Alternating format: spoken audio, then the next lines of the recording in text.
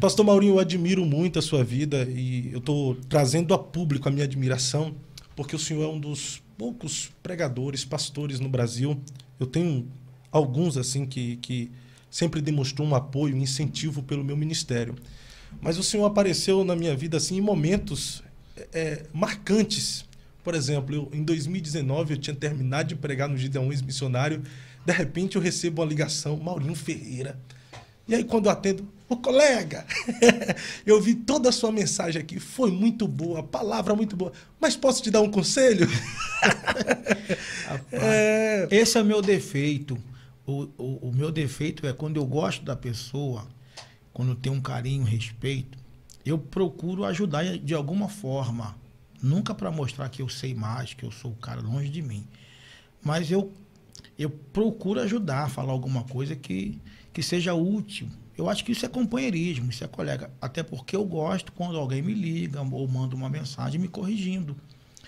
Uma certa feita, eu pregando lá no Braz, e eu falei algo que que não, não caiu bem na, na, na, pronúncia do português. Acabou o culto, o pastor Jabes de Alencar me chamou no canto. Falou, Maurinho, essa parte aqui, o que você falou, não está certo, não. Corrige. Corrige isso aqui.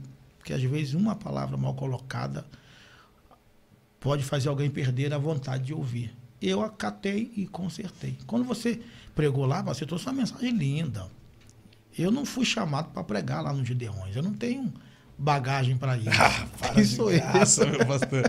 Mas, ó, pastor, eu vou falar algo muito, muito importante. A gente prega nesses eventos, tanto os Gideões quanto o Bom Samaritano, que são eventos consolidados no Brasil, né? Sim. É, Acredito que o Gideões teve uma época no seu auge que todos os pregadores, principalmente os pentecostais, sonhavam em verdade, pregar. Verdade, verdade. É, então, a gente pisa lá, a gente fala, cara, os maiores pregadores do Brasil passou aqui. O bom samaritano agora, que está vivendo um tempo muito bom. É, a gente termina de pregar, fica aquele sentimento, como é que eu fui? é um sentimento bom e ao mesmo tempo ruim, né? Que tu começa a procurar defeito na, na, sua mensagem e tal. Aí vem um senhor que prega o Brasil todo. Eu admiro muito o seu ministério. Me liga e fala: Ô colega, foi muito bom, mas deixa eu te dar um conselho. Eu recebi aquele conselho e eu tenho levado para minha vida, para o meu ministério até hoje, pastor. Meu companheiro, foi, foi o que eu estava falando. Eu acho que companheirismo é isso. É um ajudar o outro. E como eu disse, o Gideões é, é, é um local que essa cobrança que o pregador tem, não só nos Gideões, em qualquer lugar, de querer sempre é, dar o melhor de si, isso aí é uma cobrança positiva. Eu acho que o camarada está se perdendo quando ele acha que sempre vai bem e nunca se preocupa em melhorar.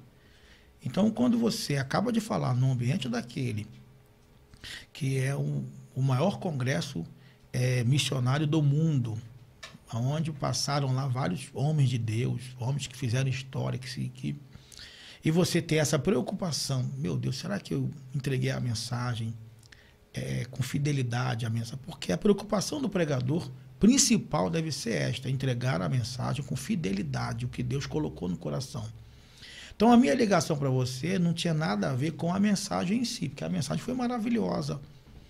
Talvez algum detalhe ou outro que poderia melhorar. Ou seja, foi bom. Então, essa era a preocupação minha. Mas a mensagem foi maravilhosa, como agora, no Bom Samaritano.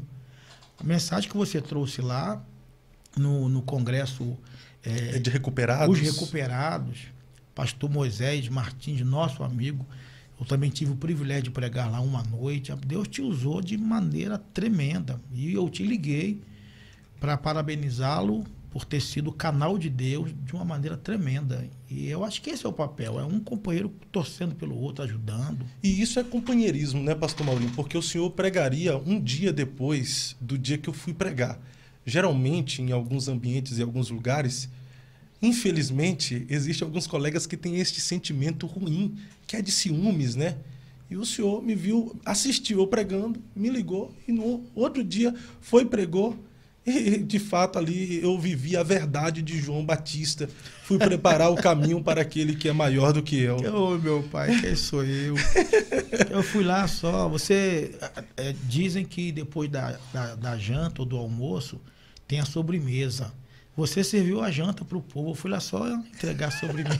para de graça, pastor. Eu, eu me lembro que eu preguei antes do pastor Ângelo Galvão, Sim. que é um grande pregador nessa nação. Então eu já tinha essa pressão psicológica de pregar antes do homem que fala, deixa o negão pregar. Deixa o negão pregar.